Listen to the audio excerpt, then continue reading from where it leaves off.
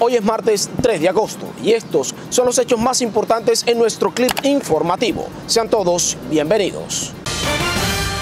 Investigadores de la Dijín de la Policía dieron con la recaptura de Haider Acuña Barrios, conocido como Haider Polo, señalado de la muerte del médico Alberto Tico Aroca, hecho ocurrido el pasado 20 de agosto de 2019 en inmediaciones de DPA en Valledupar. Sí, este sujeto fue capturado en el corregimiento de San José de Oriente, en la vereda La Vega, distante una hora y media de este corregimiento, ah, gracias a la información puntual de una fuente anónima de un ciudadano que quiso colaborar con la captura de este delincuente, pudimos llegarle hasta este sitio donde estaba escondido hace aproximadamente un año y donde se hacía pasar por guerrillero para intimidar a los vecinos de esta finca donde fue capturado Casi en su totalidad se encuentran listos a nivel de infraestructura los escenarios deportivos de los Juegos Bolivarianos 2022. La infraestructura va muy bien, solo hacen falta seis escenarios, dijimos que de 30 escenarios,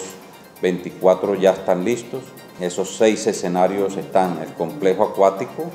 Coliseo de Gimnasia en la Universidad Popular de Cesar, quienes estaban proyectos que estaban pendientes de su inicio por la falta de la adjudicación de la interventoría a cargo del Ministerio del Deporte,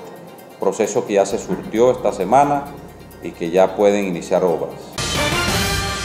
Tras permanecer varios días hospitalizado en el Instituto Cardiovascular del Cesar, fue dado de alta el compositor Rafa Manjarres, quien permaneció en delicado estado de salud por las afectaciones que le dejó el COVID-19.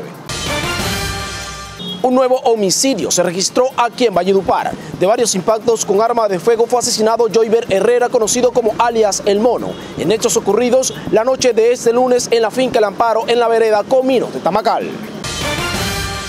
El juzgado séptimo penal municipal con funciones de control de garantía de Valledupar impuso medida de aseguramiento en establecimiento carcelario contra Gabriel Ángel Núñez y Jason David Romero González, presuntamente implicados en el atentado contra el ganadero Otto Vega. Donde utilizando armas de largo alcance, estas personas pretendieron cegarle la vida al reconocido comerciante. Familiares y amigos de Manuel Antonio Botello, quien desapareció el pasado 26 de julio en el barrio Los Fundadores de Valledupar, piden por su pronto regreso y deciden a las autoridades que se investigue a fondo esta situación.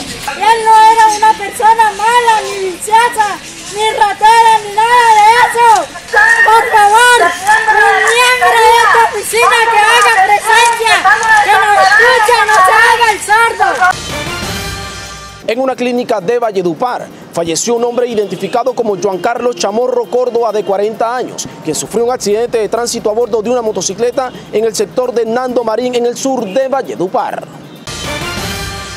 Diferentes elementos de valor, entre ellos joyas y celulares, le hurtaron delincuentes motorizados al cantante de la música vallenata Eri Escobar, en un hecho registrado en las últimas horas en el norte de la capital del Cesar.